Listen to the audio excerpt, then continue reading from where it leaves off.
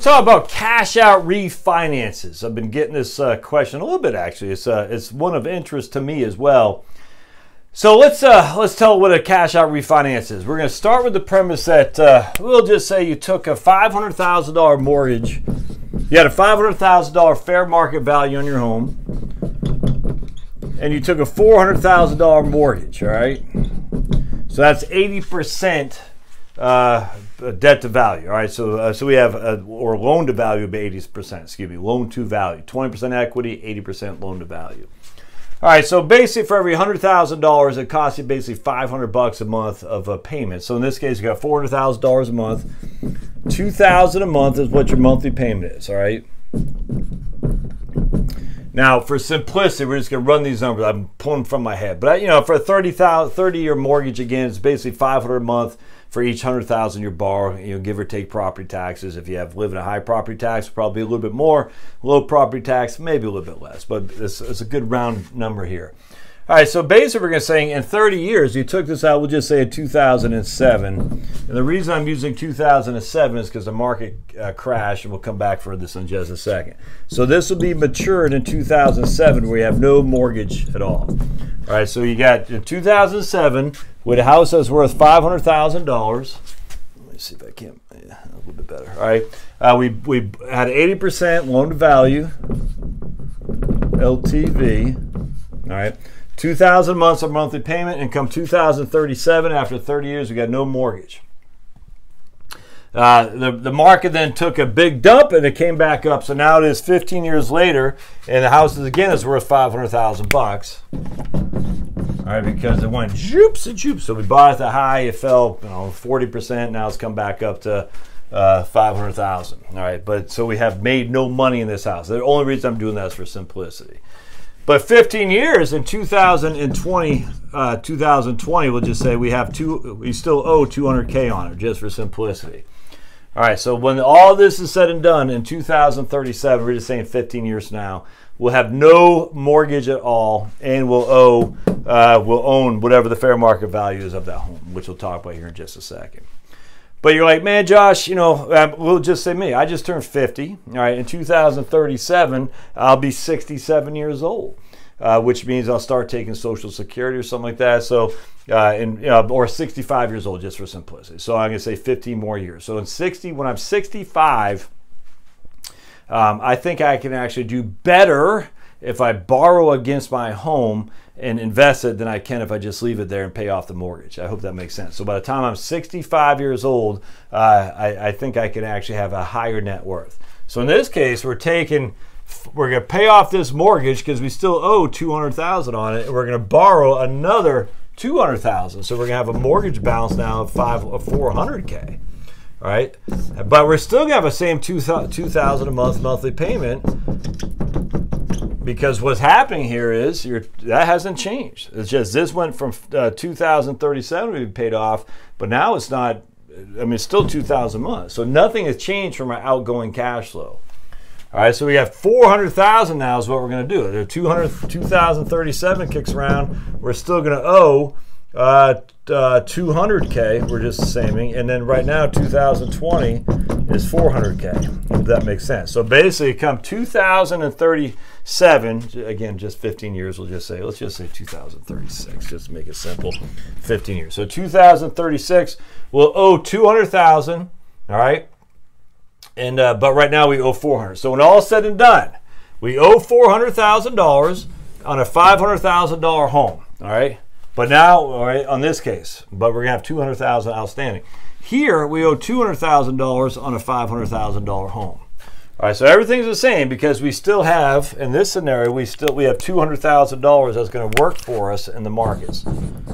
Two hundred thousand to invest. So when all said and done, we have uh, four hundred thousand dollars of a mortgage, but we have a hundred thousand of equity plus three uh, two hundred thousand dollars to invest. We have a, a three hundred thousand dollars is our uh, net worth. Again, a hundred thousand dollars here and $200,000 there. Here, we have a $500,000 home and we owe $200,000, so we have $300,000 net worth as well. All right, so in both scenarios, we have $300,000 net worth. Now let's erase this real quick. Oh, there it is. So now, all right, does that make sense? So so far, so good. We both in both scenarios, we have a three hundred thousand dollar net worth. The issue is we owe more on this on the uh, the cash out refinance than we did on the other. So all right, let's say our house appreciates. We'll just say a two percent a year. All right, so in 15 years, in 2036, when the mortgage is paid off, how much will that house be worth? Let's just take a gander. And we're going to say a 2% appreciation. So I'm going to take my trusty calculator and we're going to say $500,000 is our present value, no payment. We're going to say, yep, that's good. 2% appreciation a year, 15 years. It'll be worth $672,000. All right. So in 15 years, in 2036, it's going to be worth $672,000. All right. So fast forward to 2036. Six. Oops. Let me get a different color there. 672. Ah. Thank you. Ah. Clumsy. 600. You all see that? Yeah, you can see that. Good. Let me get my trusty pen here. 672. All right. That's the fair market value. All right.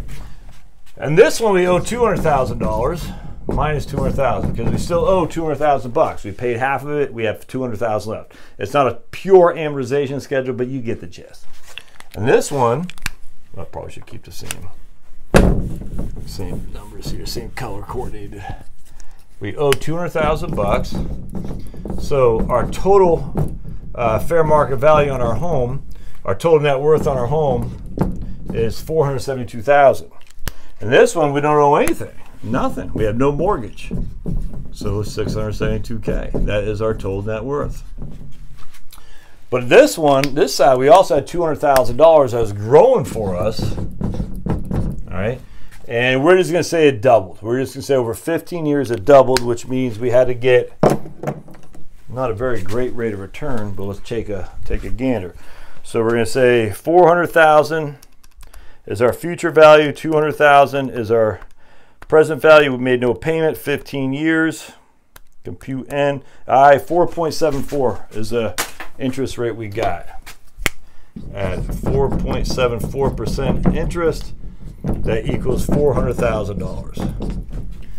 All right, so in this case, what's better? Well, we take 400,000 plus uh, uh, 472,000, we have 872,000 total net worth because we took that fair market value of the house, subtract what we owe, that gives us 472 uh, plus the 200,000 we cashed out, we have 872,000 and all we had to do to get that was 4.74% a year interest. And and so here we have six hundred seventy-two thousand. So I mean the difference is stark. It's a two hundred thousand dollar difference, which is the exact amount of money we we took out of out of there. That makes sense. I mean it was it's I mean it's literally nothing more. So minus minus two hundred thousand dollars, or I should say plus on this side here, uh, relative to that. It's just exact literally the amount we took out, and we invested at four point seven four. The house grew at two percent.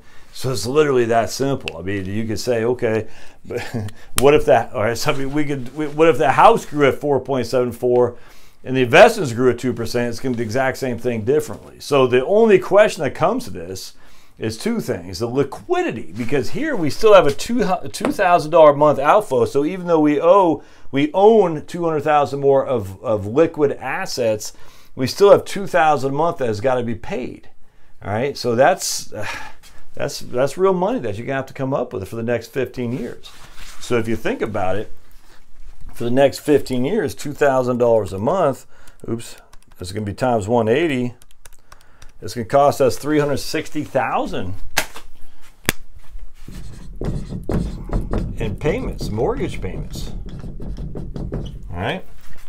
So I'm not sure I'm gonna be able to do this, but let's just say we say okay, we're gonna have two hundred thousand dollars as our uh, is our uh, we need uh, 200,000 bucks our present value of 2,000 a month and I'm not sure I'm gonna be able to do this right zero future value how many years? So bear with me just a second. Uh, we're going to say 4.74 is our interest compute and 36.